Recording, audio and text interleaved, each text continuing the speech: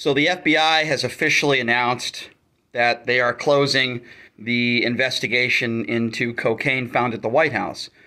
And the problem is is now they're claiming that they have no idea who left the cocaine there. This is very problematic. Now there's a chance they might be telling the truth. But there's also a chance that they could be hiding something, and this gives everybody on the far right the opportunity to come up with conspiracy theories. Here's what we know for sure Joe Biden and Hunter Biden, the immediate Biden family, were not in the White House uh, within 24 hours of when this cocaine was found. Hunter Biden and Joe Biden were out of state. So that's number one. The problem is, this is supposed to be one of the most secure places, not only in this country, but in the world. And you're telling me they didn't have cameras there in that area? They couldn't find out who left the cocaine there? I find that hard to believe. So, this is a really bad look for the Biden administration. It's a bad look for the Secret Service. What if this powder was something else other than cocaine, something that was more dangerous? This stuff just can't happen.